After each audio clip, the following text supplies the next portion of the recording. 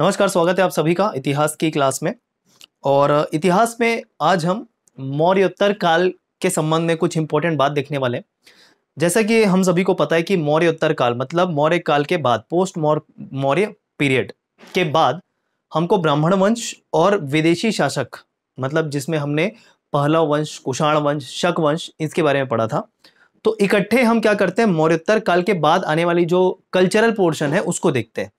जिसमें मुख्य रूप से आज हम देखने वाले हैं कि जो कला का विकास हुआ, ब्राह्मण वंश के समय, या जो विदेशी शासक थे, जैसे शक हो गए, कुषाण वंश हो गए, इनके समय, जो मुख्य कला का विकास माना जाता है, जिसमें हम मानते हैं गांधार कला और मथुरा कला का।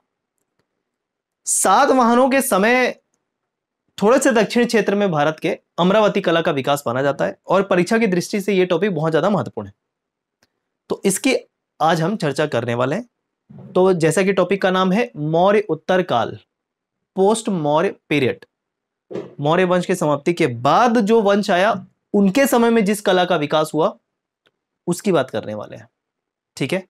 चलिए, पहले हम इसकी चर्चा करेंगे, बाद में ये क्या है, थोड़े से फैक्ट उसको हम बाद में देख लेंगे। सबसे पहले कला की तीन शैलियाँ, ठीक है? अब ये किस प्रकार की कला है? तो मूर्ति कला बेसिकली ध्यान रखिएगा, मूर्ति कला, ठीक है? तो मूर्ति कला की तीन शैलियाँ यहाँ पर पढ़ने वाले हैं। गंधार कला, मथुरा कला, अमरावती कला। सीजीपीएससी को टारगेट करके पढ़ रहे हो व्यापम को टारगेट करके पढ़ रहे हो, या कोई भी एग्ज़ाम को टारगेट करके पढ़ रहे हो, जिसमें भारतीय इतिहास का पोर्शन है तो डेफिनेटली उसमें कुछ ना कुछ कला का पोर्शन संस्कृति का पोर्शन आ ही जाता है। तो देखिएगा यहाँ पर ये जो तीन कलाएँ हैं, ये परीक्षा की दृष्टि से बहुत ज़्यादा महत्वपूर्ण है। अक्सर प्रश्न पूछे जाते हैं। और किस तरीके से प्रश्न पूछे जाते हैं, ये भी आपको बताऊँगा। सबसे पहले देखिएगा ये जो दो कला है ना, मौर्यतर काल को हमने दो भागों में बांटा था, एक ब्राह्मण वंश और एक विदेशी शासकों के संबंध में वंश। तो विदेशी वंश के तौर पे हमने एक पढ़ा था कुषाण वंश के बारे में और शक वंश के बारे में। तो इनके समय में एक मूर्ति कला का विकास हुआ गांधार क्षेत्र में मतलब उत्तर पश्चिम भारत का क्षेत्र, ठीक है? उत्तर पश्चिम भारत का क्षेत्र वर्तमान अगर आपका हो तो अफ़गानिस्तान पाकिस्तान वाला क्षेत्र बोल सकते हो। मथुरा तो ये आपको पता ही है। ठीक है, उत्तर प्रदेश जो वर्तमान का आप मथुरा जानते हो, वहाँ पर जो कला का विकास हुआ, मथुरा कला कहलाया। मतलब क्षेत्र विशेष की बात कर रहे हैं। और अमरावती, कौन सा? आंध्र प्रदेश अमरावती। आंध्र प्रदेश अमरावती तो कृष्णा गोदावरी नदी घाटी के दक्षिण में। क्लियर? वहाँ पर जिस कला का विकास हुआ, अमरावती क्षेत्र था, गुंटूर जिला बोल सकते हो। अमरावती कला। माना जाता है, उस शैली को। शैली मतलब मूर्तियों में जिस प्रकार की विशेषता देखने को मिलती है, उसके आधार पर यह तीनों क्लासिफाई किया गया है। डेफिनेटली अब इस पे किसका प्रभाव पड़ा ये देखोगे आप। ये जो दो कला का विकास है, जैसे कि मैंने बताया, विदेशी शासक, कुषाण वंश मुख्य रूप से तो कुषाण वंश के समय इन क्षेत्रों में ये दो कला का विकास हुआ। रिस्पेक्टिव जो इनके एरियाज़ थे, वहाँ पर। सात वाहनों के समय, क्योंकि जैसे कि आपको पता होगा, महाराष्ट्र के क्षेत्र में और उससे नीचे आंध्र प्रदेश वाले क्षेत्र में सात वाहनों का शासन था। तो उनके संरक्षण में जिस कला का विकास हुआ, वो अमरावती कला कहलाया। तीनों कला की बात करें, देखते चलेगा पहले दिमाग में बैठाइए। ये जो गांधार कला थी, इस पे पूरा पूरा विदेशी प्रभाव देखने को मिलता है। और विदेशी प्रभाव कौन सा? हिंद यूनानी प्रभाव। ठीक है? यूनानी कला। जिसको हेलेनिस्टिक आर्ट बोलते हैं। एक और हम आर्ट देखते हैं, हेलेनिस्टिक आर्ट। जो यूनानी या ग्रीक कला से प्रेरित हो, वो गांधार कला है। ठीक है? हेलेनिस्टिक आर्ट क्या बताया मैंने? जो यूनानी कला होती है, मूर्ति कला की, आप देखोगे। एक बार आप टाइप करना, आराम से उसको पता चल जाएगा। मूर्तियाँ बहुत सारी आ जाएगी आपको देखने के लिए। हेलेनिस्टिक आर्ट होता है पूरी सफ़ेद मूर्तियाँ होती है, जैसे कि आपने एथेंस वगैरह की जो मूर्तियाँ देखी होगी, वो वो हेलेनिस्टिक आर्ट के अंतर्गत आता है। ठीक है? उससे प्रभावित है।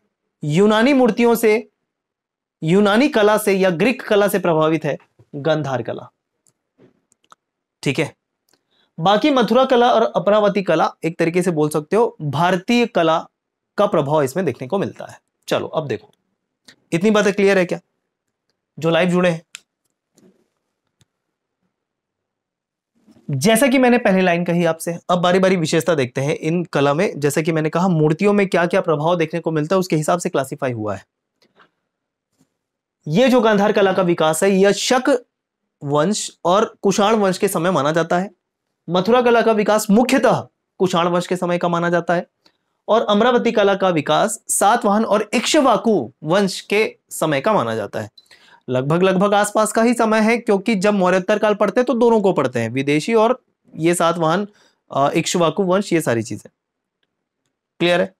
तो शक शासक और कुषाण शासक के समय, कुषाण शासक के समय सातवाहन और इक्ष्वाकु वंश के समय। इतनी बातें दिमाग में पहले से क्लियर हो गई। इसमें क्या लिखा है, उसके रिस्पेक्ट में, ठीक है? अब देखो बारी बारी से लाइन डिस्कस कर लेते हैं। यूनानी प्रभाव देखने को मिलता है इसी कारण इंडो ग्रीक कला इंडो ग्रीक कला कहा जाता है। मुख्य केंद्र क्या? तक्षशिला। तक्षशिला, ठीक है? तक्षशिला, मुख्य केंद्र। ये वही क्षेत्र है भारत का उत्तर पश्चिम क्षेत्र, ध्यान रखिएगा ना। तो इंडो ग्रीक कला इसको कहते हैं हिंद, यूनानी प्रभाव देखने को मिलता है, इस वजह से यूनान मतलब बोलते हैं ग्रीक इंग्लिश में। तो यूनानी प्रभाव की वजह से इंडो ग्रीक कला गंधार कला को ही कहा जाता है। एक और चीज़, गंधार कला के संबंध में जो भी मूर्तियाँ बनी, वो मुख्यतः बुद्ध ही की, बुद्ध की ही थी। ठीक है? गौतम बुद्ध की थी। इस वजह से इस कला को या इस शैली को बुद्धिस्ट शैली या बुद्धिस्ट कला भी कहते हैं, ठीक है? जितनी भी कला, जितनी भी मतलब इस शैली से मूर्तियाँ बनी, वो मुख्यतः बुद्ध, गौतम बुद्ध की बनी। इस कारण बुद्धिस्ट कला भी इस गांधार कला को कहा जाता है। क्लियर है? तो अगली लाइन यहाँ से पता चल जाएगी क्या? ये जो कला है, बौद्ध धर्म से संबंधित है। क्योंकि जब आप कुषाण वंश पढ़ोगे जस्ट इसके पहले जो क्लास में मैंने बताया है, उसमें यह बताया कि कुषाण शासक। ठीक है? हिंदू प्रभाव, हिंदू संस्कृति का प्रभाव तो देखने को मिलता ही है। लेकिन द्वितीय अशोक बताया था मैंने, किसको? कनिष्क को। याद है? कुषाण वंश। क्यों? क्योंकि अशोक के बाद जो सबसे ज़्यादा बड़ा, एक बड़े शासक के नाम के तौर पे ध्यान रखें तो बौद्ध धर्म का अनुयायी हुआ कनिष्क, कुषाण वंश का। क्लियर तो चूँकि उसी समय कला का विकास हुआ तो किस धर्म से प्रभावित होगा? बौद्ध धर्म से प्रभावित होगा। क्लियर है क्यों बुद्धिस्ट कला बोल रहे हैं इसको? बौद्ध धर्म से संबंधित है ये कला। कंपेयर करके पढ़ना चाहे तो कंपेयर करना पड़, करके पढ़ सकते हैं। इंडिविजुअली आप नोट करना चाहे तो इंडिविजुअली नोट भी कर सकते हो। चलो। पहले इन दोनों को कंपेयर करेंगे क्योंकि लगभग लगभग कुषाण शासकों के समय इसका विकास हुआ है। मथुरा कला को पूर्णतः भारतीय कला कहा जाता है, क्योंकि इसका जो क्षेत्र विशेष है, मथुरा के साथ साथ वाराणसी, कौशाम्बी। क्लियर है? उत्तर प्रदेश वाला क्षेत्र। बौद्ध धर्म बौद्ध धर्म की मूर्तियाँ तो मिली ही मिली, इस कला के अंतर्गत। जैन धर्म की मूर्तियाँ भी मिली मतलब जैन जो गुरु होते थे उस समय, उनकी भी उनकी भी कुछ मूर्तियाँ मिली। और ब्राह्मण धर्म से संबंधित, जिसको हम हिंदू धर्म भी कहते हैं वर्तमान में वैदिक धर्म भी कहते हैं। उस धर्म से संबंधित भी मथुरा कला के कला या शैली की मूर्तियाँ मिली। क्लियर है?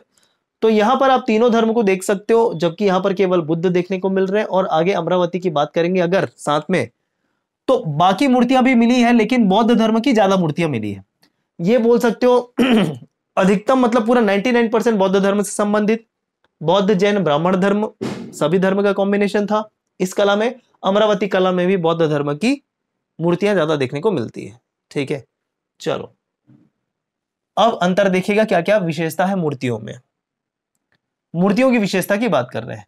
इसमें जो मूर्तियाँ बनी है ना बेसिकली गौतम बुद्ध की बात करेंगे, ठीक है?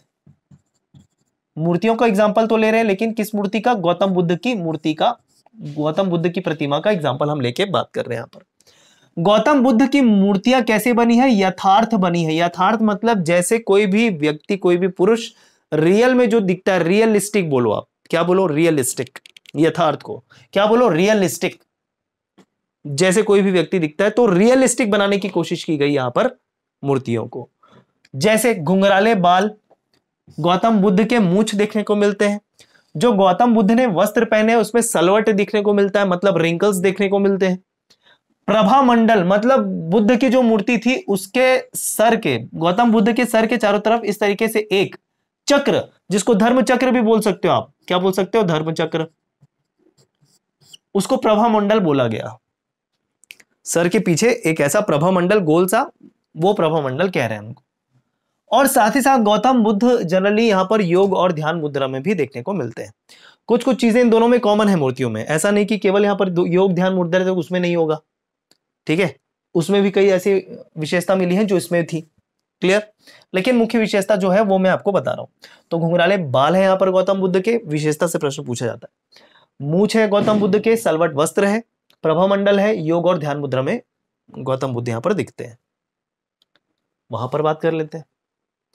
गौतम बुद्ध की आदर्शवादी प्रतिमा है। कैसी है? आदर्शवादी आइडियल एकदम स्टेचू है यहाँ पर गौतम बुद्ध की, एकदम भगवान के जैसा उनको दिखा दिया गया है आइडियल एकदम, आदर्शवादी। ठीक है? यहाँ पर रियलिस्टिक बनाने की कोशिश करिए। यहाँ पर आइडियल जो मूर्ति होती है किसी भी एक तरीके से अगर हम भगवान या गुरुओं की बात करें तो उनकी मूर्ति जैसे एकदम आदर्श होनी चाहिए, वैसे इस कला में मूर्तियों को आदर्शवादी बनाया जाता है। ठीक है? जैसे अब कुछ विशेषताएँ। चौड़ा सीना है गौतम बुद्ध का। जो कुछ मूर्तियाँ मिली हैं, वो वस्त्र विहीन है, जिनमें कोई भी वस्त्र नहीं है। ठीक है? ये भी एक विशेषता ध्यान रखिएगा, मथुरा कला की वस्त्र विहीन मूर्तियाँ। मूर्ति जो गौतम बुद्ध की है, वो मूच विहीन मूर्ति है। बाल विहीन मूर्ति भी है, मूछ विहीन भी मूर्ति है। मतलब मूछ नहीं है, बाल नहीं है। और अभय मुद्रा अभय मुद्रा या वर मुद्रा एक तरीके से बोल सकते हो, ऐसा आशीर्वाद देते हुए। ठीक है? गौतम बुद्ध की जो प्रतिमा है, ऐसे आशीर्वाद देते हुए है। यहाँ पर वो सीधा योग मुद्रा में बैठे हुए हैं। आशीर्वाद नहीं दे रहे। यहाँ पर आशीर्वाद दे रहे, अभय मुद्रा में है, वर मुद्रा में है। ये ध्यान रखेंगे। ठीक है? भूमि स्पर्श मुद्रा भी कुछ देखने को मिलता है यहाँ पर गौतम बुद्ध की। भूमि स्पर्श मतलब भूमि में एक तरीके से लेटे हुए या भूमि को स्पर्श कर रहे हैं, उस तरीके की मूर्तियाँ मथुरा शैली में देखने को मिलती है। ये आप ऐड कर लेना जो आखिरी में मैंने बताया। वहाँ पर मूर्तियों की विशेषता देखते हैं अमरावती कला में। अमरावती कला या अमरावती शैली में मूर्तियाँ, कोई एक मूर्ति नहीं है। ये एक सबसे बड़ी विशेषता इसकी ध्यान रखेंगे, क्योंकि यहाँ से सीजीपीएससी ने प्रश्न उठाया था। अगर किसी भी प्रभा मंडल जैसे किसी भगवान के पीछे ऐसा चक्र, जैसे मैं बोलूँ कि अब चेहरा बनाना तो मुझे आता नहीं। ये चेहरा बना दिया। ठीक है? और ये चेहरे के चारों तरफ़ ऐसा प्रभा मंडल प्रभा मंडल मतलब ये ऐसा। मतलब एनलाइटनमेंट पीछे से रोशनी आ रही है, ऐसा मतलब भगवान का नहीं रहता ऐसा गोल सा। वो प्रभा मंडल है क्लियर समझो भावनाओं को समझो यार। अब प्रभा मंडल क्या होता है? प्रश्न में एग्ज़ाम में नहीं पूछेगा। थोड़ा समझो ना। भगवान के पीछे ऐसे लाइट आती हुई रहती है ना, सर के पीछे एकदम रोशनी आ रही होती है। वैसी, वो उसको प्रभा मंडल बोल रहे हैं। क्लियर देखो अब, मूर्तियाँ। अमरावती की सबसे बड़ी विशेषता है कि एकल मूर्ति मूर्ति नहीं है ज़्यादातर। यहाँ पर आप एकल मूर्ति देख रहे हो, बुद्ध की। वैसी जैन धर्म के संबंध में कुछ गुरुओं की मूर्ति आप एकल देख सकते हो। ब्राह्मण धर्म के संबंध में एकल मूर्ति देख सकते हो। यहाँ पर एकल मूर्तियाँ नहीं है। यहाँ पर समूह में मूर्तियाँ हैं। मतलब यहाँ पर अमरावती कला में ऐसी मूर्तियाँ देखने को मिल रही है। मानो वो कुछ कहानी कह रही हो। क्या कह रही हो? कहानी। कहानी के रूप में मूर्तियों को बनाया गया है। अमरावती कला का सबसे बड़ा उदाहरण। ठीक है? जैसे, एकल मूर्ति नहीं है, कहानियों के रूप में है मतलब जातक कथाओं की मूर्तियाँ हैं। जातक कथा मतलब बौद्ध धर्म मतलब गौतम बुद्ध से ही संबंधित कथा को जातक कथा कहा जाता है। मतलब बौद्ध गौतम बुद्ध के जन्म से संबंधित कथा, जातक कथा। ठीक है? तो जातक कथाओं की मूर्तियाँ हैं यहाँ पर। कथा और कहानी की मूर्तियाँ हैं यहाँ पर, अमरावती शैली में। क्लियर अब यहाँ पर एक लाइन वैसी जो मैंने पहले बताया कि सात वाहनों और एक शिवाकु शासकों के संरक्षण में यह अमरावती कला का विकास हुआ यहाँ पर, ठीक है? चलो, अब आगे बात करते हैं कि इन मूर्तियों में किसका प्रयोग किया गया मूर्ति बनाने के लिए। तो देखिएगा, यहाँ पर दो काल विभाजित हो जाता है गंधार कला के लिए। दो काल विभाजित हो जाता है यहाँ पर गंधार कला के विकास के लिए, एक प्रारंभिक और एक परवर्ती। प्रारंभिक और परवर्ती, ठीक है? प्रारंभिक समय में गंधार कला मिट्टी और चूना पत्थर से बनाए जाते थे। जबकि परवर्ती मतलब बाद अब आने वाले समय में जो मूर्तियाँ बनने लगी, वो भूरे कलर की या काले कलर की या नीला धूसर कलर की पत्थर से बनाए जाने लगे। भूरे, काले, नीले, धूसर मतलब एक तरीके से क्या बोल सकते हो? डार्क बोल सकते हो? पत्थर की मूर्तियाँ बनाए जाने लगी। क्लियर है? चलो। यहाँ पर बलुआ पत्थर बहुत बड़ी विशेषता है मथुरा कला की, बलुआ पत्थर, ठीक है? बलुआ पत्थर लाल, खासकर लाल बलुआ पत्थर से बनाया जाने लगा। श्वेत बलुआ पत्थर से भी कुछ मूर्तियाँ मिलती है, लेकिन लाल बलुआ पत्थर से मुख्यतः मथुरा शैली की मूर्तियाँ देखने को मिलती है। यहाँ पर जो मूर्तियाँ बनी अमरावती कला में, शैली में, वो संगमरमर की मूर्तियाँ बनी, संगमरमर की मूर्तियाँ बनी। क्लियर है क्या तीनों में? ठीक है? चलो। अब शुरू में मैंने बताया था यूनानी प्रभाव देखने को मिलता है, ग्रीक प्रभाव देखने को मिलता है तो यहाँ पर एक यूनानी देवता का नाम ध्यान रखो अपोलो। किसी को फ़ोटो देखना है, गूगल करना, दिख जाएँगे अपोलो जी। तो यूनानी देवता अपोलो के जैसे ही गौतम बुद्ध की मूर्तियाँ बनाई गई एग्जैक्टली एग्जैक्टली मतलब पूरा पूरा प्रभाव देखने को मिला यूनानी देवता अपोलो का गौतम बुद्ध की प्रतिमा में। क्लियर है क्या? ये इंपॉर्टेंट पॉइंट हो सकता है। अब अगर पूछा जाए कि नृत्य और श्रृंगार संबंधित जो मूर्तियाँ हैं, वो किस शैली का उदाहरण है तो ये आएगा मथुरा कला। यहाँ पर किसी भी गुरु की, जैसे जैन गुरु की बात करें, बौद्ध धर्म के लिए गौतम बुद्ध की हमने बात कर ली है, तीर्थंकर बोलते हैं, ठीक है, जैन धर्म में जो गुरु होते हैं उनको। ब्राह्मण धर्म से संबंधित कोई भगवान की मूर्तियाँ बना दिया, मथुरा कला का उदाहरण हो गया, ठीक है। इसके अलावा, श्रृंगार रस से संबंधित श्रृंगार मूर्तियाँ या नृत्य करती हुई मूर्तियाँ मथुरा कला का उदाहरण है। बहुत इंपॉर्टेंट वैसे तो सारे पॉइंट इंपॉर्टेंट है, क्योंकि मैं इंपॉर्टेंट पॉइंट के बगैर बात ही नहीं करता हूँ। सारे पॉइंट्स इंपॉर्टेंट होते हैं मेरे। खैर तो नृत्य और श्रृंगार कला की मूर्तियाँ मथुरा कला का उदाहरण है, मथुरा शैली का उदाहरण चलो, एक और बात यहाँ पर ध्यान रख लो। अमरावती जो कला है ना शैली है ना, उसका एक्सपांशन उसका विस्तार श्रीलंका और दक्षिण पूर्वी एशिया तक माना जाता है। ठीक है? इसका पूरा एक्सपांशन और मथुरा कला का एक्सपांशन मतलब इस पूरे क्षेत्र में बता दिया और यूनानी या गांधार कला का जो उदाहरण है मतलब इस क्षेत्र में माना जाता है एक्सपांशन तो ये है मुख्यतः गंधार, मथुरा और अमरावती कला में कला में, अमरावती कला में डिफरेंस परीक्षा के दृष्टि से महत्वपूर्ण है। याद कर लीजिएगा। आई थिंक पूरा जो स्टोरी फॉर्म करके जो बताया मैंने मतलब एक तरीके से लिंक करके याद हो गया होगा। चलो, अब मौर्योत्तर काल के संबंध में जो कुछ व्यवस्थाएँ हैं, उसकी बात कर लेते हैं। वैसे तो रचना बहुत सारी मैंने बताया इस दौरान। कुछ और रचना को देख लीजिए। जैसे चरक, ठीक है? चरक संहिता, ये तो खैर नाम से स्पष्ट है। चरक आयुर्वेद आचार्य तो अन्य मौर्योत्तर काल साहित्य के बारे में बात कर रहे हैं। भरत मुनि का नाट्य शास्त्र ध्यान में रखिएगा। भरत मुनि का नाट्य शास्त्र ध्यान में रखिएगा। अश्वघोष का सदरानंद सॉरी सौदरानंद और बुद्ध चरित्र ध्यान में रखिएगा। भास भास की रचना के तौर पे स्वप्नवास वदता ध्यान में रखिएगा, चारुदत्ता ध्यान में रखिएगा, उरुभंग ध्यान में रखिएगा। ये एक तरीके से क्या है, सारे फैक्ट है तो याद ही करना है और कुछ करना तो है नहीं। इसके अलावा प्रीवियस क्लासेस में मैंने आपको बहुत सारी रचना बनाए हैं, बताए हैं और उसको आपको अलग से लिखने को कहा है। क्लियर क्योंकि परीक्षा में फोकस करता है। आर्थिक व्यवस्था के तौर पे अगर बात करें, मौर्योत्तर काल मतलब इस समय तो देखो, सिक्के को क्या क्या कहते हैं? सोने का सिक्का निष्क और स्वर्ण, चांदी का सिक्का शतमान और तांबे का सिक्का ककड़ी या काकड़ी कहलाता, ठीक है? एक और चीज़ बताया था कि सबसे ज़्यादा सोने के सिक्के चलाने वाले में कौन? कुषाण वंश। ये भी बताया था।